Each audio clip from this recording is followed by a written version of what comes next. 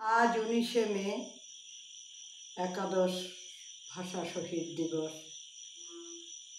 আজ উনিশশো একষট্টি ইংরাজির উনিশে মে, মাতৃভাষা, আমাদের মাতৃভাষা, বাংলা ভাষা রক্ষার লড়াইয়ে একাদশ ভাই বোন প্রাণ দিয়েছেন সেই একাদশ শহীদের প্রতি আমি আমার অন্তরের অন্তঃস্থল থেকে গভীর শ্রদ্ধা জ্ঞাপন করছি।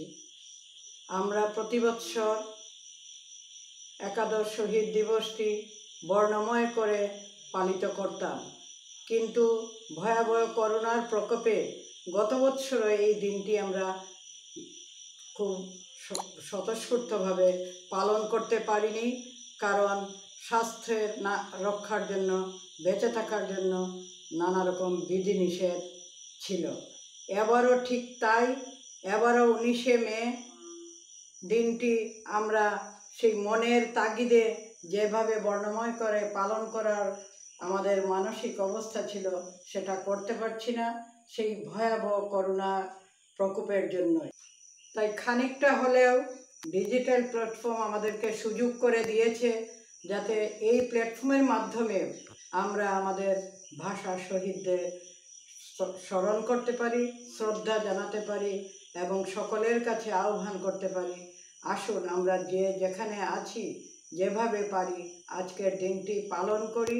শহীদদের প্রতি শ্রদ্ধা জানাই এবং শপথ নেই আমাদের মাতৃভাষা, আমাদের কৃষ্টি সংস্কৃতিকে রক্ষা করার জন্য আমরা যেন ব্রতী হই।